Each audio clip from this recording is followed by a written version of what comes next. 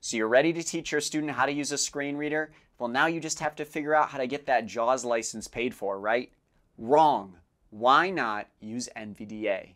Today on Tech Tip Tuesday, we are going to be downloading and installing the world's first real free screen reader for Windows PCs. Stick around. So many people think that just because NVDA is free means that it's not as good as JAWS. This is not true. NVDA has all of the main features that JAWS does, and because it's free, it is the most popular screen reader in the world. So today we're going to be showing you how to download and install NVDA right here on this computer. Now we will be sending an email out this Thursday with step-by-step -step instructions on everything we're going to cover in this video. If you want that email in your inbox, click the link below to sign up for our Screen Reader Tidbits emails. Those come out every week and show step-by-step -step instructions on screen reader beginner skills. All right, let's get started. So first I'm going to go to nvaccess.org. I'm going to open up Google here, nvaccess.org slash download. All right.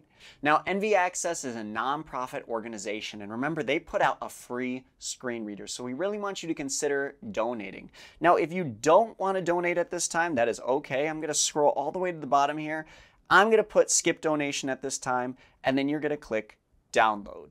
Now, once that is downloaded, I'm going to click that exe file down in my downloads bar, and you're going to hear that NVDA startup chime. Let's hear it.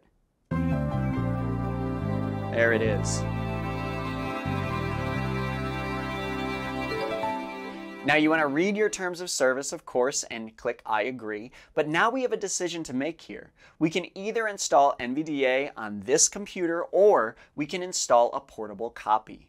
Now you might be thinking, what in the world is a portable copy of NVDA? Well, sign up for our screen reader tidbits emails using the link below. We're going to be covering that in this week's email. It's really cool, so don't miss it. So I'm going to click I agree. I agree and I'm going to download on this computer. Install NVDA on this computer. Now, we have to figure out, do I want to install this on the login screen? If you're a screen reader user, you definitely want to do this. If you're a visual user or you're just doing this for practice, I'm gonna, you're going to uncheck that. I'm going to press continue here.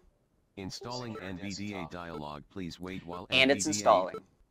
Now, once NVDA installs, you're going to have this Welcome to NVDA dialog box pop up on your screen. Now, this includes really important settings that you need to make sure that you're set using NVDA. The first thing is your keyboard layout.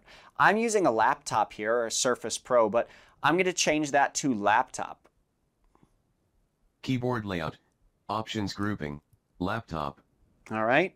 The next thing is you can see this checkbox that says use caps lock as the NVDA modifier. Please make sure you check that checkbox. Use caps lock as an space. Checked. Now, the last thing that you need to know is, of course, how to exit or quit NVDA. The way to do that is going to be caps lock and Q. Exit NVDA dialog. And then it says, do you want to exit? Yes, I do. I'm going to press enter. And now NVDA is off. Next week here on Tech Tip Tuesday, we're going to be covering what in the world is that NVDA key and why do we have to make sure that it's caps lock. That's going to be right here next week, Tech Tip Tuesday. Don't miss it.